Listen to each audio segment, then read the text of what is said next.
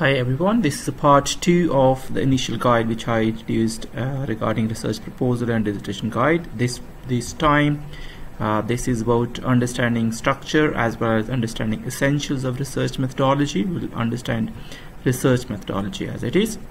Just to recap what we have done uh, in the previous session, we said uh, it is about uh, writing a report which would have six to seven chapters including plus appendices Introduction to Research Project, Literature Review, Research Methodology, Data Analysis and Finding, and then you discuss your findings and results, uh, provide recommendations and conclusions and further research scope, uh, put references and appendices, etc.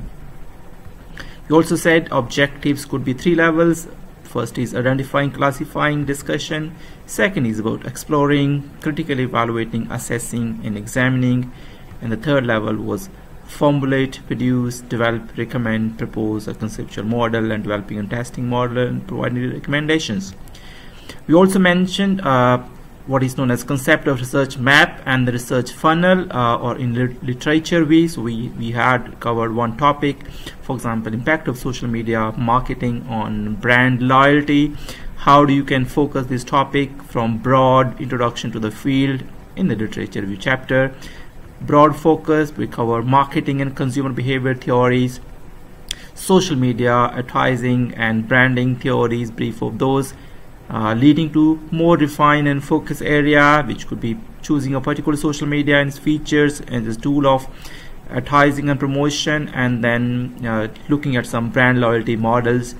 Uh, and then the last thing is ending uh, towards more conclusive uh, focused area impact of Facebook advertising on brand loyalty. You develop a conceptual model and then you put hypotheses or assertions put forward. Today we are focusing on research methodology. What you see in front of is research onion by Saunders.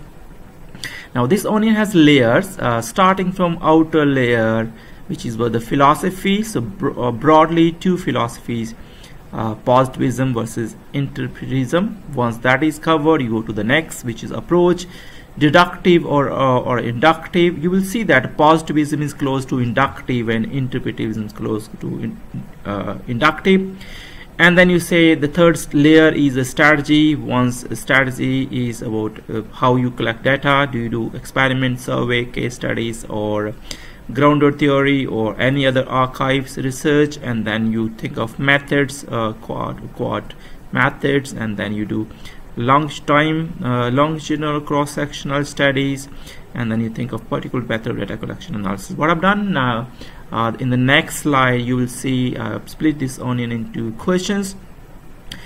So uh, you have to discuss your research methodology and why. It's not only over the theory theory but also about practical application of that. So first thing question is regarding philosophy. Uh, what is your research philosophy and why uh, are you taking positivism or interpretism point of view? Uh, then you're cho choosing the purpose. Purpose can be descriptive or explorative or causal uh, research. Descriptive is like uh, describing the facts as it is. For example what you see observe today. Uh, explore is finding deeper things which are not obviously uh, possible in current research uh, I mean detailed research and you are exploring further. Causal and relational research is about the cause and effect relationship. Uh, methods uh, could be qualitative and or quantitative or mixed methods of research. So decide which one and why. Uh, logic approach could be inductive or deductive.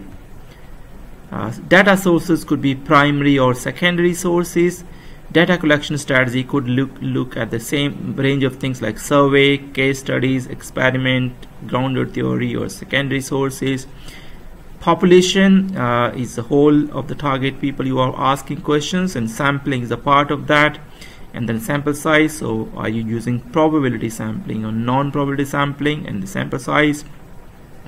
And then you also talk about research instrument which you're either you're collecting data using a questionnaire or using an interview uh, or using an observation sheet or themes or codes. You also must mention the methods of data analysis. So for example in quantitative you can have descriptive relational hypothesis testing tools. And in qualitative you can have codes themes content analysis template analysis or grounded theory etc and the last thing in the research methods is talking about ethics limitations and uh, schedule of activities time plan which is Gantt chart. Now next slide will tell you more details about the choice uh, the binary or trinary you're using. But do remember that all things are research onion are very integrated.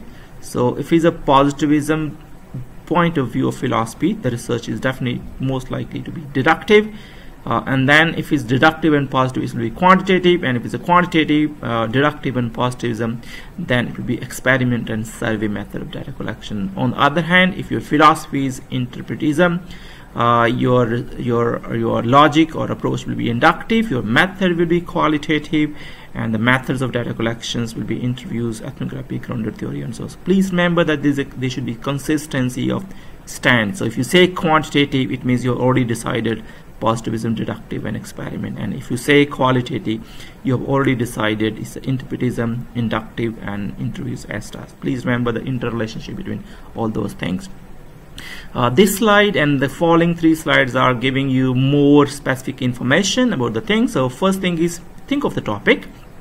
Why doing this research? Is it research to describe something or explore something new or find a cause or relation between two things? Or more than two things. If it's a descriptive research, then your purpose is to identify, to describe, to discuss facts. So, for example, market share of a company, uh, or, or, or, the what customers are talking about a company, how many are complaining about the company. Describe the things as they are.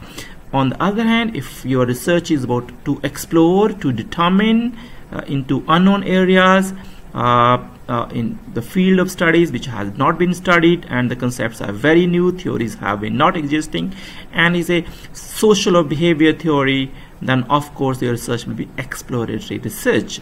Uh, on the other hand if you're saying there's a cause and effect for example ad affects sales and motivation affects performance and the teamwork leads to happiness and so on if you're looking at those cause and effect relational research or predictive research then of course you are looking at cause and effects and you are using words impact influence relationships between variables. Uh, similarly for the philosophy philosophy is about uh, two broad areas positivism and interpretism. Uh, it means that uh, for example if you're looking at this duster if it is really existing it is out there.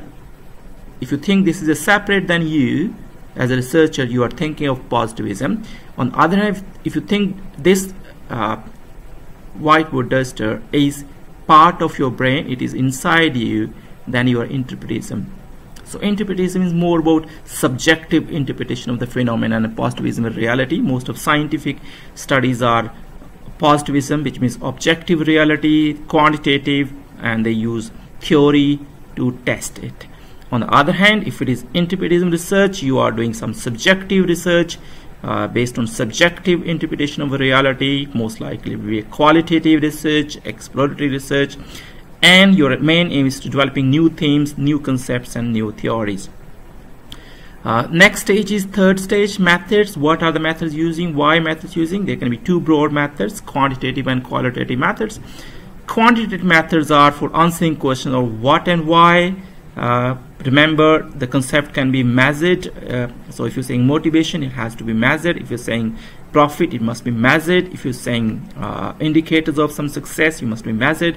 So concepts should be measurable in the form of quantity or number which means maths. And the purpose is for testing hypothesis or theory using large numerical data.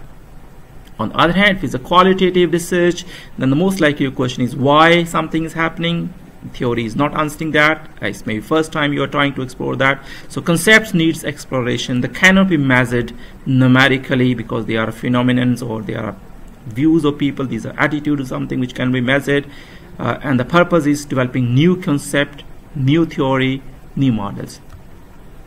Uh, then look for the next uh, stage which is logic or approach. There can be two approaches of research inductive and deductive inductive approach is when you go from one case one data and then you start developing a theory or concept so from one data one case to theory development is inductive on the other hand if you start with a theory and test those theories using hypotheses or assertions which means you go from general theory to specific case then this your research is deductive approach.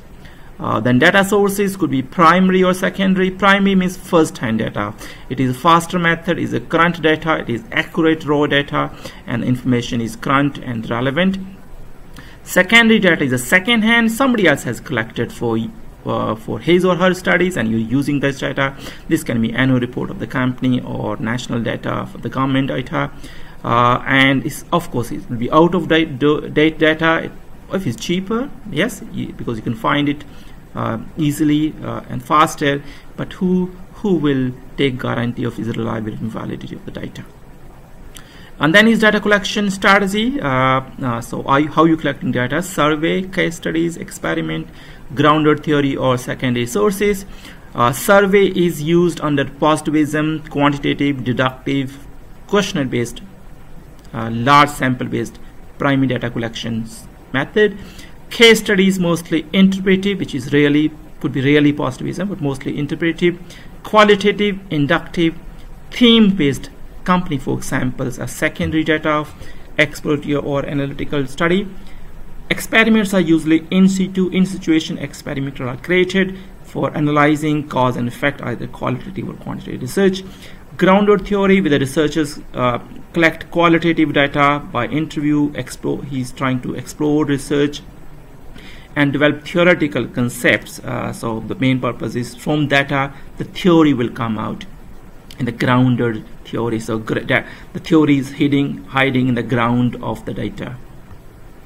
Uh, then uh, population, the people you are targeting to collect data from, and then sampling can be probability or non-probability sampling. Obviously, you want a representative sample.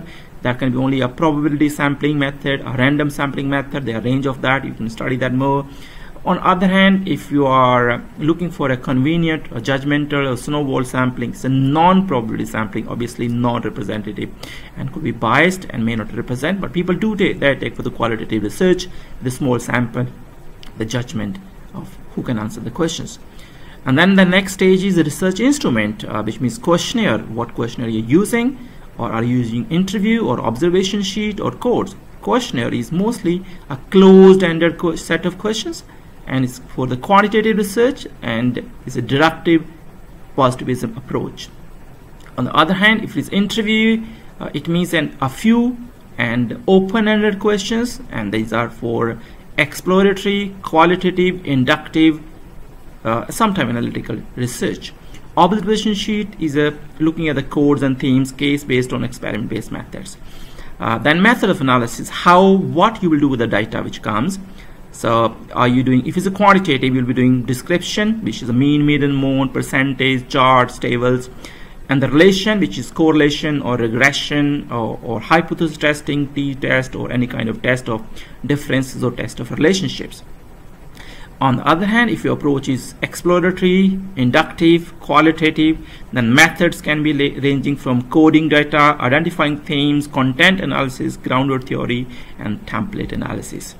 Uh, and the last topic of the research method is taking care of ethics and, and uh, limitation of research and time plan. Remember, a good research methodology has three characteristics, reliable, valid, and generalizable. Make sure your research is reliable, which is repeatable, trustworthy, valid, instruments are fit for purpose, and generalized. It can be extended from one case to whole population.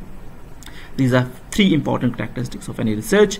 Uh, when you're talking with ethics, so you must sign ethical form, which is from university or the college. Uh, you must make sure data uh, uh is uh, collected uh, safely and the privacy of the people is protected, and you are following full ethical procedures. Also, uh, you want to discuss limitation of research methodology. Each method has a limitations because it will bring in the questions of reliability, validity, and generalizability. That's how you criticize. And the last topic of research method is talking the time plan, which is a Gantt chart of activities of the chapters which you are carrying out.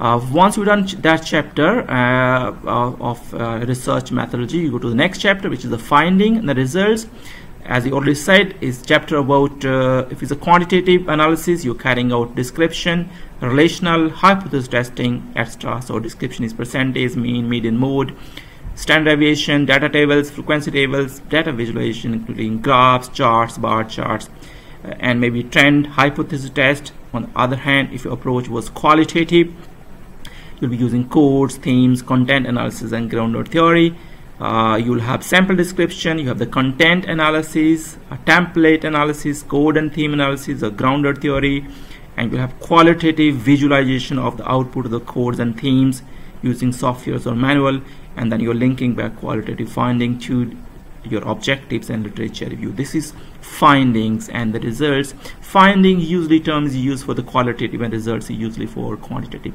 approach you make your data visualize in the form of charts graphs uh, and other methods. And then there's next chapter which people some students don't bother is about discussing the results. So if you have found some results and finding this means what what was expected from the data as your objective and what was actually found. Was it uh, different and why this was different if it's any? If it's the same why it is same? Linking back your results and findings to your research objectives and also to literature. Review look at back that your finding and some others for authors finding who are supporting who are anti your finding. So compare and contrast your finding with other researchers. Were the results in line with theoretical literature review or not and why was that? What were limitation and the scope of future research? This is a part of discussion. This is basically most important part because here you are saying what unique contribution you are contributing in your chapter uh, and your research itself. And the last chapter is about recommendation, conclusion and the further research provides specific, remember the word specific? Link to the title unique recommendations based on your results and your discussions not journal stories.